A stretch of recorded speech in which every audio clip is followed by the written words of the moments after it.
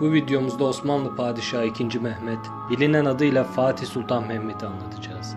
İlk olarak 1444-1446 yılları arasında kısa bir dönem, daha sonra 1451'den 1481 yılına ölümüne kadar 30 yıl boyunca hüküm sürdü.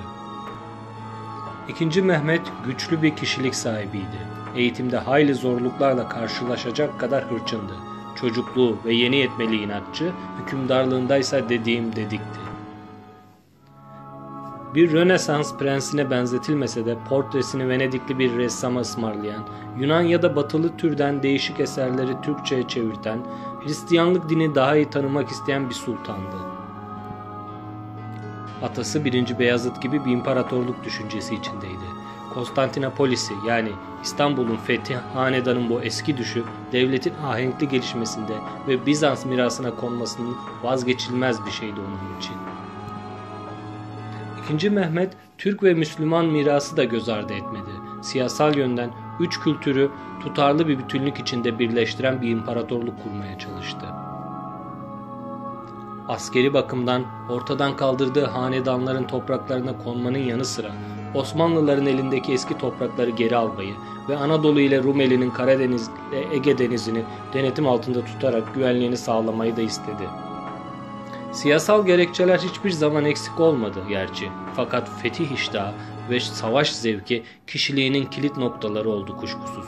Girdiği savaşlardan çoğu kez zaferle çıkan, acımasız, sır vermeyen, etkileyici görünüşüyle Fatih Sultan Mehmet bir efsane oldu çok geçmeden. İkinci Mehmet 21 yaşında İstanbul'u fethederek bin yıllık Bizans İmparatorluğu'na son verdi. Ve bu olay birçok tarihçi tarafından Orta Çağ'ın sonu, Yeni Çağ'ın başlangıcı olarak kabul edildi.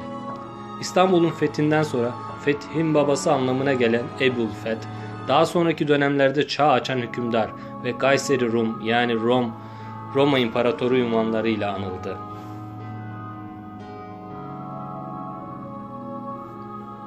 İstanbul'un fethinden ötürü Fatih Sultan Mehmet, Hazreti Muhammed'in bir hadisine nail olduğu için hem Türkiye'de hem de İslam dünyasında kahraman olarak kabul edilir. İkinci Mehmet, donanmasını alabildiğine büyüten ve artık pek etkili topçu sınıfıyla donanmış kara ordusunu güçlendiren bir savaş adamı oldu önce. Öldüğünde Avrupa'yı titreten bir devlet bırakıyordu arkasında. Ancak imparatorluğun örgütlenişini de savsaklamadı.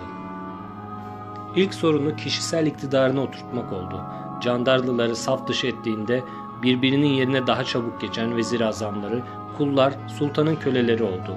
Hanedanlar oluşturan büyük üyeleri değildi artık vezir azamlar.